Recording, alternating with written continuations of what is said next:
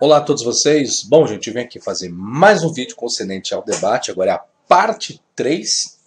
Tem bastante coisa ainda, eu vou estar analisando aos poucos. E recomendo você aí no meu site, que é o. Lá existe lá um link chamado blog, lá, lá contém alguns estudos e aos poucos eu vou estar inserindo lá alguns estudos em PDF. Mas não esqueça de entrar lá, adquirir os meus DVDs, os meus produtos, meu livro que será lançado no mês de novembro. O manual de exegese foi esgotado. Tá? Então, os livros que tem na promoção, quando você for comprar a promoção, que no caso teria que ter o livro, então você me manda um e-mail, no lugar do livro você pede um outro DVD. Tá? Então, espero que você possa me ajudar nesse meu trabalho aqui de investigação textual que eu venho fazendo. Eu vou dar play aqui ao vídeo para você saber do que trata o assunto aqui e depois nós vamos a uma análise textual da questão. Ele fez o homem com as coisas espirituais do Pai. Por isso a mulher lá do poço perguntou. Aquela mulher que tinha cinco deuses, pode ler. É aqui que eu vou tratar com vocês. A mulher lá de João capítulo 4, versículo 18, lá, a mulher do poço lá, a mulher samaritana do poço de Jacó. O Rubens está afirmando que aquela mulher ela não tinha cinco maridos, ela tinha cinco deuses. Essa mulher, afinal, tinha cinco deuses ou tinha cinco maridos? Essa é a afirmação do Rubens. Vamos ver qual foi o desfecho né, desse comentário aqui, depois eu vou analisar com vocês. Reis, não é cinco homens, não. Está bem claro, é cinco deuses que adoravam em Samaria. Quando ele falou, você teve cinco Baal, Senhor, a palavra Senhor é Baal. Eu quero que alguém me minta. Ali. Ele está perguntando, né? No texto está Baal. Então tem que ser Baal, então tem que ser deuses. Né? É isso que ele está afirmando. Dos cananeus, a palavra Senhor significa Baal, marido, dono. Ela teve cinco Baal, cinco maridos, cinco deuses. E agora o que tinha não era o Criador verdadeiro. Lá fala que é homem. Irmão. Aí agora vai ser a parte do Eli Soriano que vai perguntar para ele em, em, qual referência ele afirmou isso, né? You said that the word Senhor uh, means Baal. Você disse que a palavra Senhor lá é, vem de Baal. What do you mean? Where, where, where, in where, in what dictionary did you get that? De qual dicionário bíblico hebraico você obteve isto? Ah, uh, that the meaning of the word Senhor is Baal. Que a palavra, que o significado da palavra, algumas traduções marido, outras senhor ou homem lá, vem de Baal em na situação da mulher do poço com Jesus. Sim, eu respondo bem rápido, não tomou o tempo dele. É, é, na, em várias, algumas Bíblias tem, eu tenho em casa a Bíblia na linguagem de hoje, nela no dicionário está escrito lá que Baal, na língua dos cananeus, é a palavra Senhor. E sobre a... Veja bem, na Bíblia, né, que ele, que ele fala, não no conteúdo bíblico, está se referindo ao dicionário que existe no final dessa Bíblia, que diz que Baal é senhor, ou é marido, etc. e tal. Mas tem que tomar justamente cuidado, porque nem sempre a palavra sendo atestada Baal Baal tem um sentido pejorativo, tá? É isso que eu vou demonstrar para vocês, mas vou dar continuidade no vídeo aqui. A mulher da Bíblia, você vai ver escrito, como eu já citei agora, é... vai falar... I am asking, in what dictionary did you get that the meaning of the word Senhor is Baal? He said that uh, in the Bible that he uses, that is nova tradução. Na tradução da é, NTLDH, uh, parece. Na linguagem de hoje, Sociedade no caso, Bíblica do Brasil. Uh, uses the says in the footsteps or it show, it explains enough part saying that where, the where, word where, Baal. where that? Então você pode mostrar para nós? Where? Você tem aí? Alguém, mostrar. alguém trouxe aí, eu não tenho ela aqui, gente. Eu não trouxe essa Bíblia, mas quem tiver a tradução na linguagem de hoje, pega aí e vê no dicionário no final dela. Tem aí? Vê o dicionário atrás dela no final, a, a palavra Senhor Baal. É, ah, tá, mas é que no caso você precisaria mostrar para nós também que lá é utilizada a palavra Baal em hebraico. Mr. Moderator, may I ask a little... É isso que o rapaz perguntou. Você tem que mostrar no texto, né? No texto ali dessa versão que está escrito Baal ali. Mas no próprio texto não está escrito Baal, está escrito marido, tá? A palavra marido, que é a mesma coisa. Mr. Moderator, may I Aí está falando que a palavra marido é a mesma coisa. Beleza, vamos lá. O moderador ele queria pedir então um pouquinho de tempo. Só, só um minuto. A mim pode ficar com 5, 10. Eu não importo, não. Tudo bem. I want to say this. Pois eu quero dizer isto. When we speak at people, we have to have evidence where we, we are getting what we are saying. Quando nós falamos às pessoas, nós precisamos de evidência daquilo que estamos Presta dizendo. Especially that it is being broadcasted all over the world. Mas está sendo transmitido no mundo inteiro. Bom, senhores, é isso aí. Agora vamos lá. É, a afirmação, né? O rapaz pediu a prova, realmente. Quando você vai, você tem que dar as provas. Bom, pergunta é: a mulher de Samaria teve cinco maridos ou cinco deuses? Bom, o versículo em si é esse aqui, ó. Porque cinco maridos já tiveste, e esse que agora tens não é o teu marido. Isso disseste com verdade. Após a palavra pentegar andras esques, tá? Isso no grego, cinco, pois varões tiveste, não fala nem de marido, o grego vai falar de varões, tá? Foi construída uma teoria de que a narrativa da mulher samaritana no poço é uma alegoria do começo ao fim e que a mulher é um símbolo do povo samaritano. Isso aqui é uma vertente que, que surgiu, tá? Existe um fundo histórico dessa narrativa? Dessa narrativa não, um fundo histórico do povo samaritano? Existe. Está registrado em 2 Reis 17, 24 que o rei da Síria trouxe gente da Babilônia, Cultava, Ramat Sefarvaim, e fez habitar nas cidades de Samaria, que até então era a capital das dez tribos norte, tá? Eu vou falar um pouco rápido, não vou detalhar muito para não delongar esse vídeo. E que cada conjunto de pessoas trouxeram consigo o culto de suas divindades nacionais que eram adorados lado a lado com o Senhor. Então, quando o povo, em 722, vai para o cativeiro assírio, Aí existe o registro que o rei da Síria trouxe gente de outras nações para povoar o remanescente que ficou na capital Samaria, que era a capital das dez tribos nortes, tá? Não era a tribo sul, que era Judá e Benjamim, tá? Mas as tribos nortes, ok?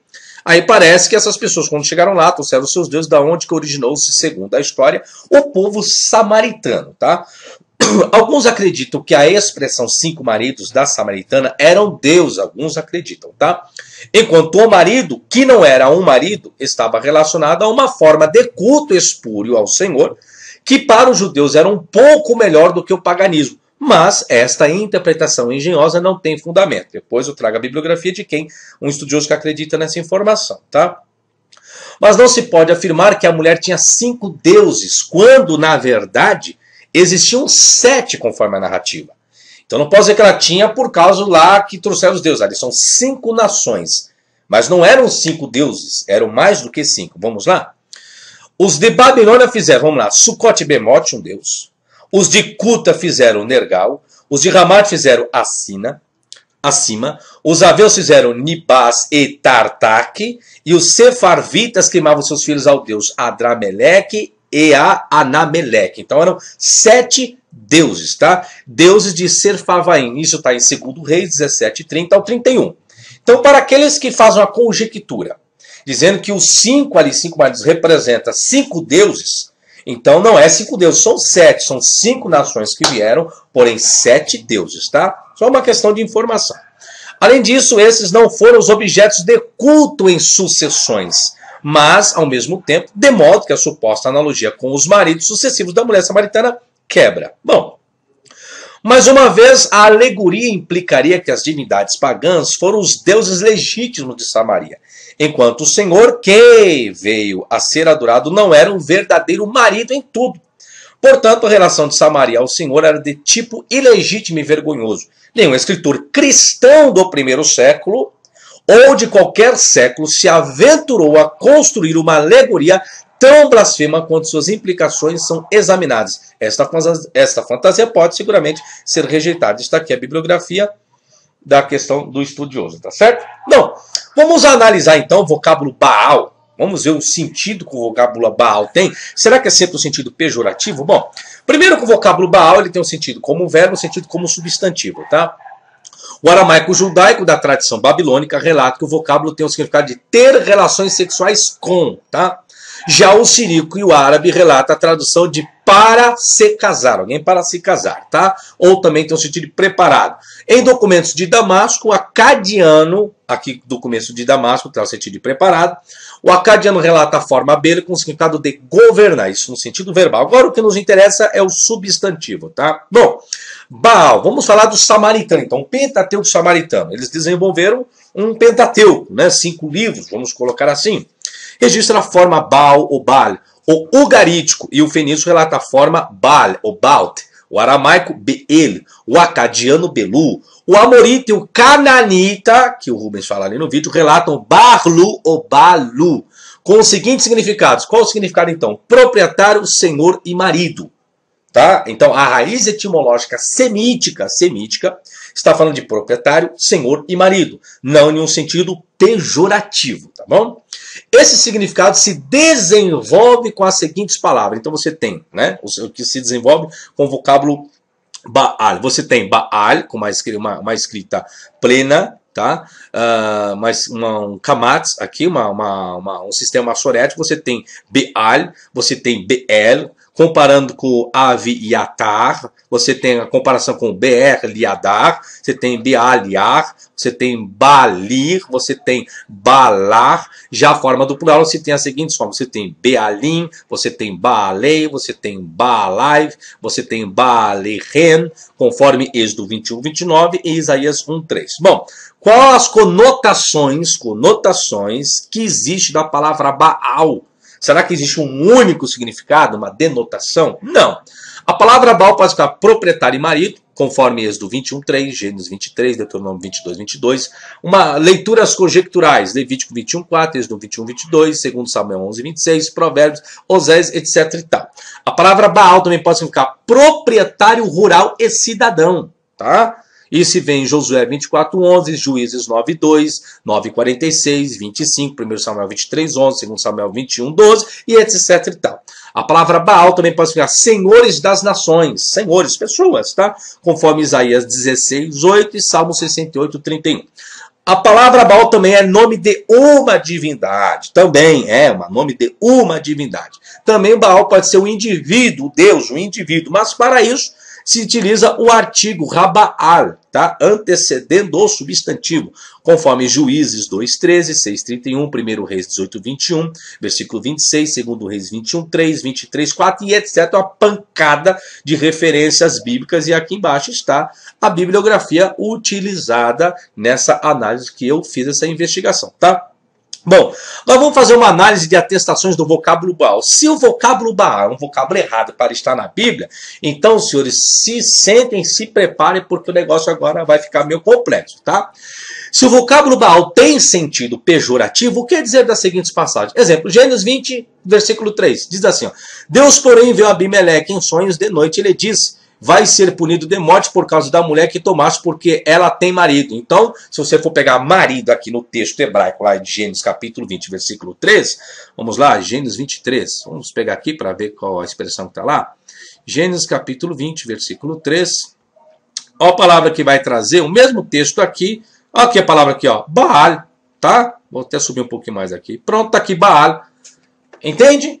Então, o contexto está falando da, da, da, irregularidade de uma pessoa, pegou a mulher não sei de quem, né? Deus, porém, viu Abimeleque em sonho de noite, ele disse, vai ser punido de morte por causa da mulher que tomasse, porque ela tem marido. Olha, você vai ser punido porque aquela mulher tem um Deus, viu? Você pegou logo aquela mulher? Então, se ela tivesse um Deus, seria bom ele ter pego aquela mulher para ensinar quem era o verdadeiro Deus para essa mulher, né? Então, tem que tomar cuidado, não, não radicalizar porque está escrito Baal, porque é errado. Não. Aqui em Gênesis já tem uma prova. Ó, Êxodo 21, 22 diz o seguinte, se homens brigarem e ferirem mulher grávida e forem causa de que aborte, porém sem maior dano, aquele que feriu será obrigado a indenizar segundo que lhe exigir o marido da mulher e pagará como o juiz lhe determinar. Então, ah, conforme lhe exigir o Deus da mulher, ô oh, senhores. Aí, qual, qual o vocábulo que está em Êxodo 21, 22? Baal também. Professor, tem como mostrar? Tem, Êxodo 21, 22. Vamos lá.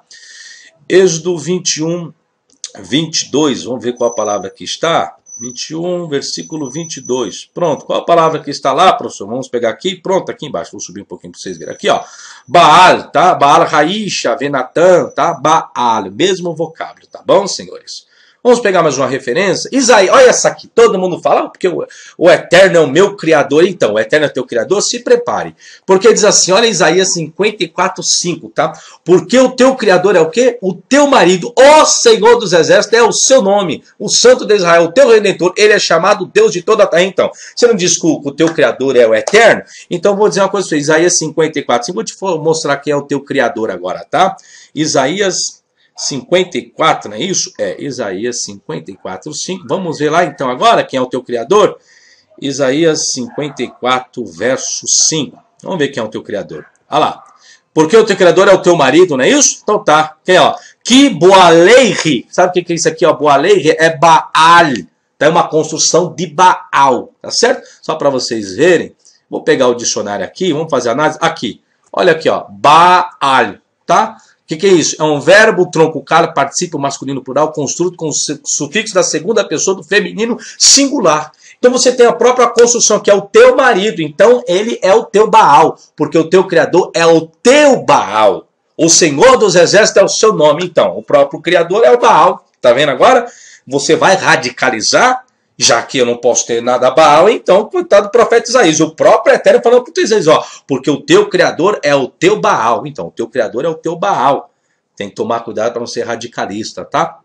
Agora vamos para o Novo Testamento. Então nós estamos vendo que Moisés errou, Isaías errou, todo mundo errou por ter pego o vocábulo Baal. Vamos ver o Novo Testamento também se erraram. Marcos 10, 10 12 diz o seguinte: E se ela repudiar seu marido e casar com outro, comete adultério. Aqui é Jesus ensinando acerca do, do divórcio, do adultério. Se ela repudiar quem? O seu Baal e casar com outro comete adultério. Aqui o contexto aqui tem nada a ver com deuses. Mas Jesus está utilizando qual vocábulo aqui? Marcos 10, 12. Se eu for pegar Marcos 10, 12 no aramaico, como alguns queiram, Marcos 10, 12. Vamos ver o que, que diz lá, professor. 10, 12. Qual o vocábulo que está lá, professor? 10, 12. Ah lá. Se ela repudiasse o marido casar com comete adultério. Qual o vocábulo está aqui, ó? Baal. Se você quiser o aramaico, você tem buela, tá? Aqui, ó. Você tem aqui na, na, na peixita, tá? E o aramaico está aqui, ó. Baala, tá? Baalar. Então é Baal do mesmo jeito. Então Jesus também cometeu erros, tá? Por ter usado o vocábulo Baal. Em Lucas 2,36 diz assim: Havia uma profetisa chamada Ana, filha de Fanuel, da tribo de Asser, avançada em dias, que vivera com seu Baal sete anos desde que se casaram. A mulher então viveu com Baal, Ana, filha de Fanuel. Mas o texto lá tá, tá Baal, professor, tá Lucas 2,36. Vamos lá. Lucas, eu só estou mostrando que as pessoas têm que tomar cuidado, não é porque está escrito Baal, porque é Baal. Lucas, deixa eu pegar aqui, Lucas 2,36. Vamos lá. Lucas 2,36. Vamos ver então. Qual o vocábulo que está lá, professor? Professor, onde está o vocábulo Baal? Deixa eu subir um pouquinho aqui para os senhores. Pronto, vamos pegar aqui. Aqui, ó. Baal. Está aqui, senhores. Também. Baal. Bom. Bom, para mim não pegar todas as passagens, para não delongar o vídeo, Atos 5,9 diz o seguinte: Tornou-lhe Pedro, por que entraste em acordo para atentar o Espírito do Senhor? Eis aí a porta os pés do que sepultar o teu marido, eles te levarão. Lembra de Ananias e Safira? Então, aí ó, Baal, seu marido. As, Ananias era, era Baal. Bom, aí então Lucas também errou, escreve Atos dos Apóstolos. E Paulo também cometeu erros. Por quê, professor? Porque Romanos 7,2 Paulo diz o seguinte: ora, a mulher casada está ligada pela lei ao Baal enquanto ele vive, mas se o mesmo morrer, desobrigada ficará dali conjugal. E Paulo também usou Baal, e aí como fica? 1 Coríntios, Paulo também usou Baal. Bom, mas por causa da impureza, cada um tem a sua própria esposa e cada uma tem o seu próprio Baal. Pode ir lá no Aramaico, você vai encontrar Baal nessa passagem. E Paulo também errou para a igreja de Éfeso, porque Paulo usou também o vocábulo Baal. Paulo diz o seguinte: Não obstante vós, cada um de per si, também ame a sua própria esposa, como a si mesma a esposa respeite o seu Baal, marido. Ficou claro então, senhores? Professor, mas lá no texto de João 4,18, qual o vocábulo que está lá? Vamos pegar, vai estar Baal também, senhores, porque é marido. João capítulo 4, versículo 18. Vamos pegar lá. Lógico, você só vai ver isso aqui no aramaico, tá bom? Tá aqui, ó, tá? Baalim está aqui. Aí aqui, ó, Baaleiren, tá aqui. Baal, é a mesma construção, senhores. Então eu não posso radicalizar. Porque se eu for radicalizar, vou dizer que então Paulo errou, Lucas errou e tantos outros erraram também. Todos os outros erraram também. Agora, dentro de uma análise contextual do texto, será que ali se refere a deuses, senhores, ou, ou a marido mesmo? Bom, disse-lhe Jesus: Vai, chama teu marido e vem cá. Então vou tirar a palavra marido, vou colocar Baal. Vai lá, chama teu Deus e vem cá. O Deus ia, ia atendê-la, senhores. Olha a regra contextual agora. No versículo 16 do capítulo 4 de João. Jesus fala: Vai, chama teu marido e vem cá. Chama, chama. Né? O verbo chamar. Chama teu marido e vem cá. Ou seja, e traga-o aqui. Chama o teu marido e traga-o aqui. Aí, ao, ao versículo 17, ao que ele respondeu à mulher: Não tenho marido, não tenho marido. Ou seja, então ela não tenho deuses, não, né? não tenho marido. Replicou Jesus, bem disseste, não tenho marido. Versículo 18, porque cinco maridos já tivesse, e esse que agora tens não é teu marido. E isto disseste com verdade. Aí olha o versículo 19. Senhor, disse-lhe a mulher, vejo que és profeta. A mulher ficou admirada, não é porque ela adorava deuses. Por quê? Como, como era a nação samaritana, as pessoas sabiam que muitos ali adoravam Deus. Isso era surpresa? Alguém falar, ah, você adora a Deus? Não era surpreendente. Agora, o que, que é o que surpreendeu a mulher? Não é um fato de Deus, é um fato sim íntimo da vida dela. Que realmente ela teve outros maridos. E ela ficou surpresa. Nossa, esse homem realmente conhece da minha vida. Vejo que és profeta. Você está vendo a análise contextual? Já identifica que ali é marido no sentido humano mesmo, de homem, e não no sentido de deuses? Ok? Aí vem assim, versículo 20. Nossos pais adoraram neste monte. Vós, entretanto, dizeis que em Jerusalém é o lugar onde se deve adorar. Disse-lhe Jesus, mulher, podes crer-me que a hora vem quando nem neste monte, nem em Jerusalém adorareis o Pai. Quem ela adorava? O Pai. O próprio versículo 21 já diz. Eles adoravam o Pai lá em Samaria, os judeus adoravam o Pai, o Eterno, lá em Jerusalém. Você vê que o contexto aqui fala de um único Deus, um único ser, e não vários. Versículo 29. Vinde comigo e vede um homem que me disse tudo quanto tenho feito. Será este, porventura, o Cristo? Então ela ficou surpresa, sabia se Jesus era o Cristo, hum, pelo fato de Jesus ter trazido algo íntimo da vida dela. Olha o versículo 41. Muitos outros creram nele, por causa da sua palavra. Versículo 42. E dizia a mulher: Já agora não é pelo que disseste que nós cremos, mas porque nós mesmos temos ouvido e sabemos que esse é verdadeiramente o Salvador do mundo. Então o povo esperava isso. Agora, por que eles esperavam isso? Porque eles tinham o Pentateuco, o seu samaritano, e acreditavam nesse Messias e não nos seus deuses lá. Então, gente, veja bem, de todas as regras que eu coloquei aqui, tem que tomar cuidado. Primeiro, eu fiz com vocês uma parte esboçal, do que existe de fundo histórico concernente a essa ideologia que construíram, que os cinco mares ali eram cinco deuses. Eu fiz a análise etimológica do vocábulo para vocês verem que eu não posso generalizar, particularizar um vocábulo e achar que aquilo significa apenas aquilo. Isso é uma distinção etimológica que eu fiz para vocês. Aí depois eu fiz uma análise de atestação do vocábulo Baal, porque se realmente o vocábulo Baal é um vocábulo errado para estar na Bíblia, então todos esses escritores do, do Gênesis, do Êxodo, Isaías, né, porque o teu criador é o teu Baal. Então todos cometeram erro. Então certo estão os seres humanos de hoje. Os escritores ali todos se equivocaram ali. Isso, gente, é visão de pessoas religiosas que não estuda. Então tem que tomar cuidado. Faça uma averiguação mais detalhada. Se não conhece hebraico, aprenda. Vai sair o meu DVD, coleção completa para você aprender o hebraico. Um curso avançado de hebraico e de grego para você ter essa condição de pegar no dicionário, pegar a Bíblia hebraica ou o papiro, um código, sei lá o que seja para você aprender. Então, até o final do mês que vem vai estar completo a coleção. Vai ser, acho que, mais de 10 DVDs só de aula de hebraico bíblico avançado, tá certo? Então, está aqui mais um vídeo. Não esqueça, adquira meus produtos para me auxiliar nesse meu trabalho, nessa minha investigação.